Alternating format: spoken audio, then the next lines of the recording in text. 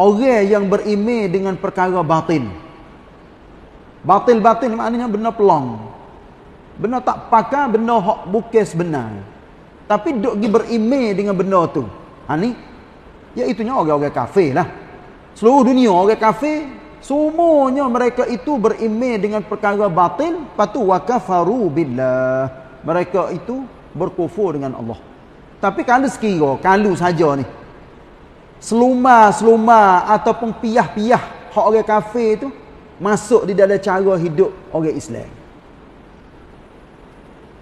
Ada setengah-setengah orang Islam yang berimej dengan perkara yang batin. Duk pergi percaya, duk pergi buat, duk pergi amal. Lepas tu, tak ada siapa duk pergi basuh. Cara hak dia duk faham kena ataupun tak kena tu. Boleh jadi duk gelomok dalam hati dia. Ada belaka benda hak tak kena pun ada, benda hak kena pun ada. Inilah perlu berhajat benar kepada mengaji, mengajar. Lepas tu jadi sokmo-sokmo. Orang yang mengajar pun kena mengajar yang toniang. Orang yang mengaji pun mengajilah supaya dia yakin katanya iktiqat dia, amalan dia, cara hidup dia betul. Hak tu lah. Kena duduk fun, Quran, sunnah Nabi,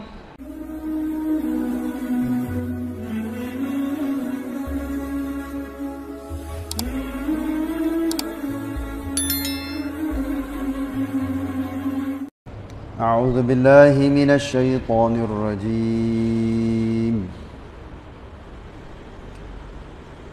أولم يكفهم أنا أنزلنا عليك الكتاب يتلى عليهم إن في ذلك لرحمة وذكرى لقوم يؤمنون قل كفى بالله بيني وبينكم شهيدا يعلم ما في السماوات والارض والذين آمنوا بالباطل وكفروا بالله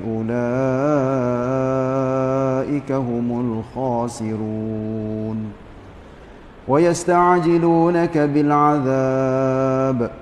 ولولا أجل مسمى لجاءهم العذاب وليأتينهم بغتة وهم لا يشعرون. يستعجلونك بالعذاب وإن جهنم لمحيطة بالكافرين. يوم يغشاهم العذاب من فوقهم ومن تحت أرجلهم ويقول ذوقوا ما كنتم تعملون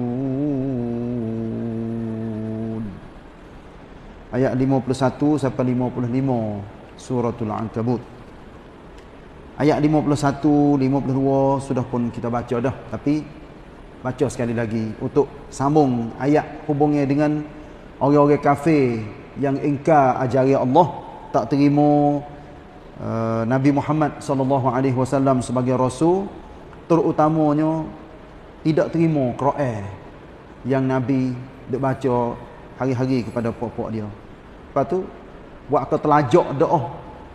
Jadi menganying depan Nabi. Minta disegerakan azab. Minta supaya menganying kalau mung benar sungguh hei Muhammad, acu buat turun azab. We nampak kepada kami ataupun tipu ke atas kami, go to go ni go.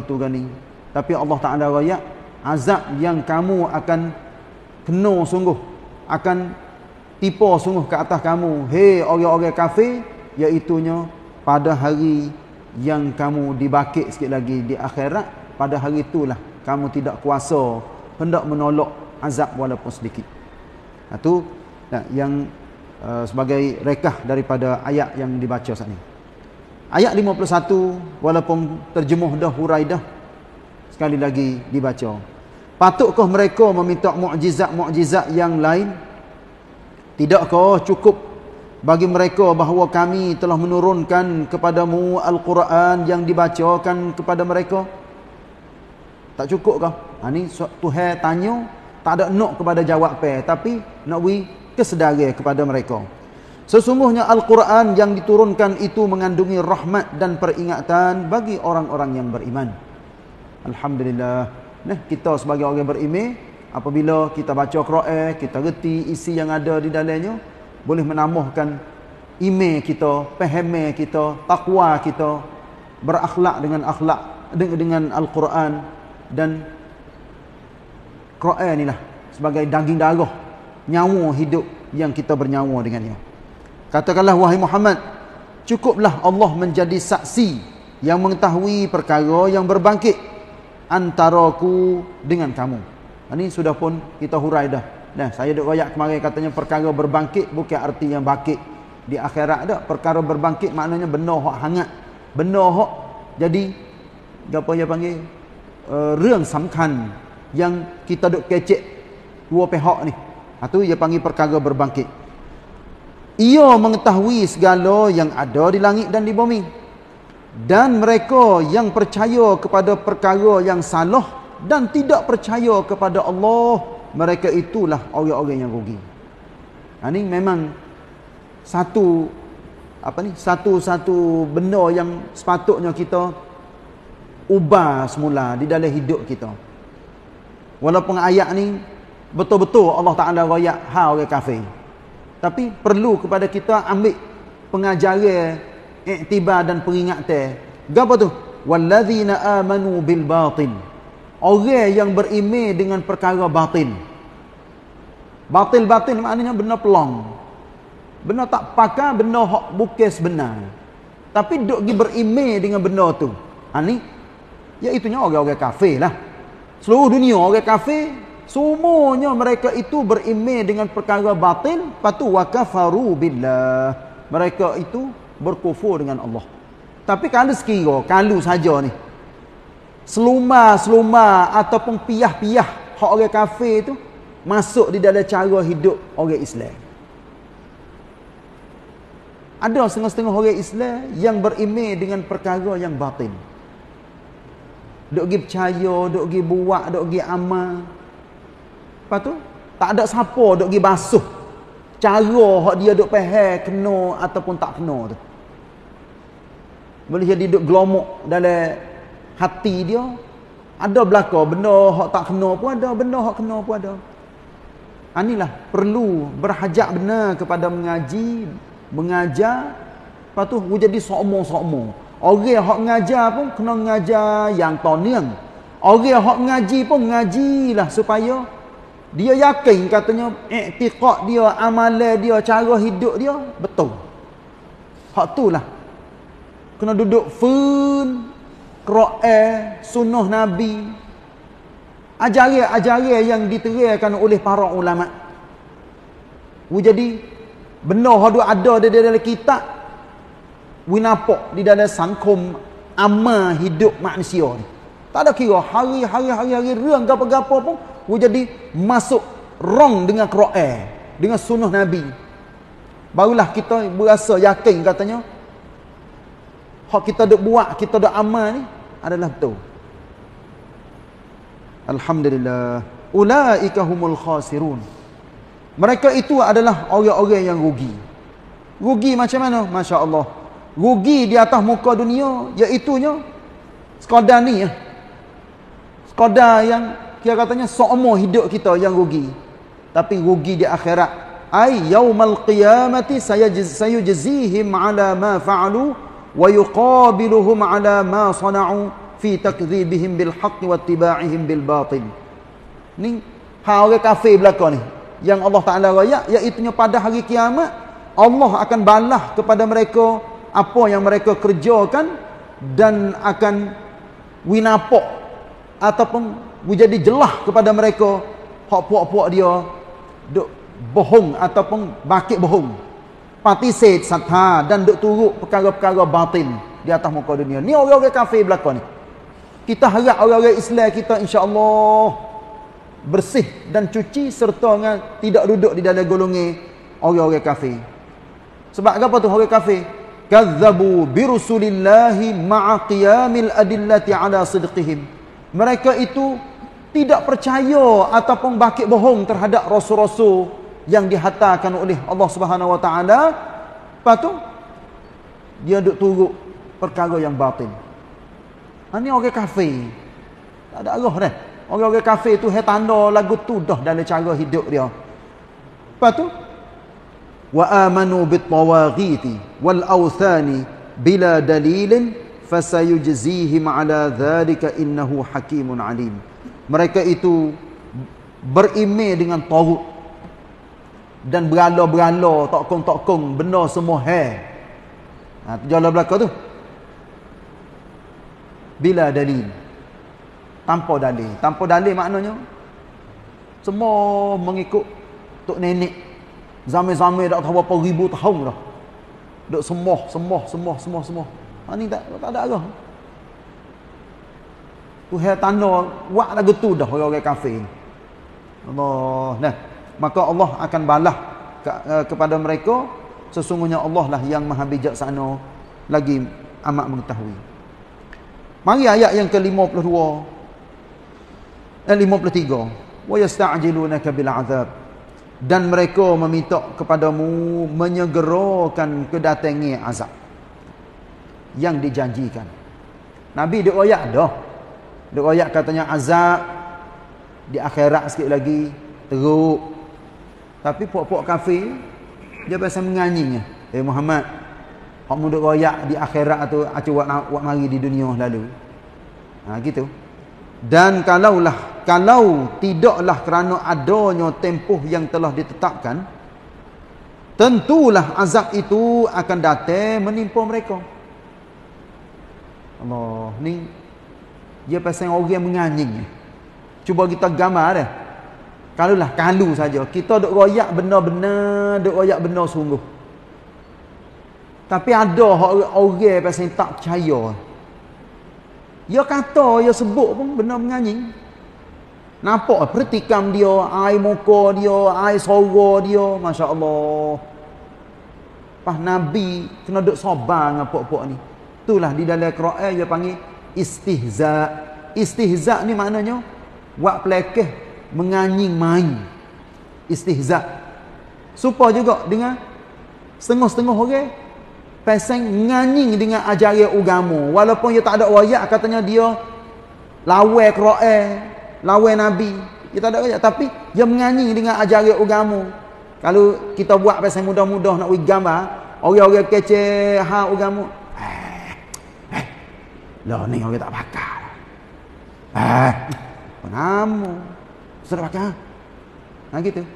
Kecek pe dia tu seolah katanya dia participate benda tu ataupun dia pelekeh main. Ha tu beringat-beringatlah orang hak pasal buat main-main dengan agama. Ha tu. Sehingga Tuhan pesan di dalam Quran, jangan kamu menganying buat pelekeh main dengan agama dengan ayat-ayat Allah dan Rasulnya. Ha, gitulah. Tentulah azab itu akan datang menimpa mereka. Kalau sekiranya Tuhan nak segera sungguh. Tapi Allah Ta'ala tanda siap dah.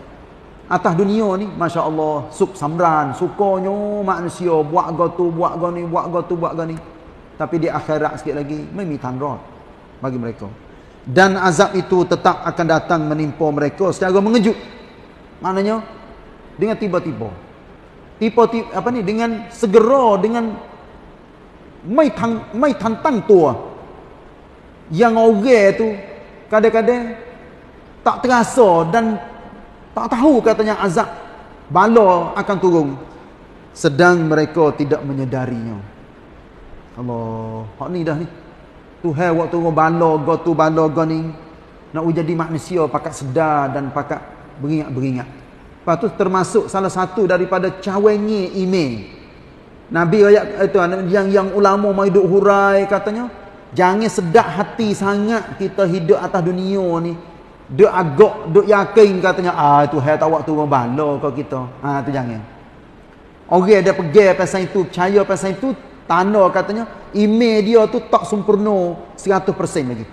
Kita kena tamcai sokmo.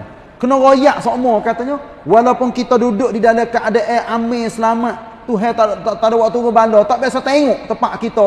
bala secara besar tu hewak turun. Tapi kita kena royak sokmo. Benda ni benda mungkin yang Allah Taala boleh buat mengikut kehendak dia. Kita duk duk berasa katanya amir molek tempat kita gerum turun sekali. Ha tu. Nauzubillah min zalik. Turun apa tu? Gepa bombing. Misal ataupun bombing ataupun tempat tu tergelai gerum. Sutai kapung. Sutai sutai tambun. Tergelai habis dalam tanah. Orang yang mati tak tahu berapa puluh, berapa puluh ribu bisa kata. Hala ketulah. Benda hidup berlaku di atas muka bumi menunjukkan bahawa ini adalah suatu perkara yang manusia tak boleh nak pergi kat mai. Terutamanya gepa bombing dan sebagainya. Ada ke orang boleh royak katanya, ah lusa nak berlaku gepa bombing? Eh tak ada. Hak manusia duk tengoknya. Zahir hak dia duk kaji iaitu cuaca. Benda hak pasal hak duk di atas. Tapi benda hendak di bawah tanah. Bila nak rutuh, bila nak nak nak nak nak gepa gotu gani, tak ada siapa tahu. Walaupun pandai manusia duk royak katanya negeri itu duduk di atas wong wen yang akan berlakunya bergepa bombing gotu gani, nak torani witia duduk duduk kaji gotu gani. Semua tu adalah kaji mengikut ilmu yang dia rasa katanya lagu tu. Kita orang Islam yakin katanya semua adalah mengikut kehendak Allah. Tapi tak salah kita ngaji benar-benar pasal itu. Pas dunia pula, dunia tua dah lah ni. Cuba kita gambar. Bila dunia tua, orang tua lagi. Dia bergonye belakang, orang gonye tak rok, jalan ngok-ngik ngok-ngik ngok okey okey okey. Pas dunia ni, masya-Allah. Tua hebat dah dunia dah ni. Benar-benar hak berlaku, berlaku belakang. Go tu, go ni, go tu, go ni. Nanti tunggu alamat kiamat hak besar. Alamat kiamat hak kecil-kecil. Habis dah berlaku. Teragi kita tengok dalam kitab hak ulama tulis, hmm, tak ada gapo dah. Duk tunggunya alamat kiamat hak besar. Berarti dunia tak lama dah nak nak nak kiamat. Cuma kita tak tahu katanya bila nak berlaku. Haru-hara yang berlaku di atas muka dunia. Gotu goni gotu goni. masya-Allah kau sari kau banyak kau sari kau banyak. Sebab itulah tengok kepada perkataan orang-orang kafir pada zaman dahulu yang mitok supaya disegerakan azab kita gambar pada masa sekarang ni. Allah hak manusia duk reka duk buat duk lawa ajaran Allah ajaran Nabi. Penuh benar orang kafir sama telah dah Hak tu kita kena tak sebelah dah orang kafir. Dia tak ada masuk dalam boat. Tak masuk dalam dalam dalam, dalam kira air dah. Dia nak buat gapo buat lagi sebab Nabi raya ad-dunya sijnul mu'min wa jannatul kafir. Dunia adalah goat bagi orang mukmin tapi syurga bagi orang-orang kafir. Ha syurga dia dah. Kita ni hak duduk atas dunia ni kena duduk mikir eh aku ni supaya ngeduk dalam goat kena duk patai ke tu kena duk jaga tak si lemut tak si buat benda-benda yang menyalahi hukum Tuhan. Sebab kita nak pergi seni di akhirat sikit lagi. Pas orang kafir di zaman Nabi pas tu bukan zaman Nabi saja dak rasul-rasul zaman-zaman dulu pun lagu tu lah. Orang-orang kafir yang tak terima ajaran Nabi ajaran Rasul dia menganyi main dia nak bunuh Nabi dia wang pen nak buat benda tak molek kepada Nabi-Nabi Rasul-Rasul Sekali lagi Allah Taala raya ayat ayat 54 ni. Mereka meminta kepadamu menyegerakan kedatangan azab itu. Dua kali tengok. Ayat 53 wa yasta'jilunaka bil azab. Mari ayat 54 yasta'jilunaka bil azab. Dua kali. Allah. Padahal sesungguhnya neraka jahanam tetap akan meliputi orang-orang yang kafir. Bila tu? Ha tentulah Allah Taala jawab.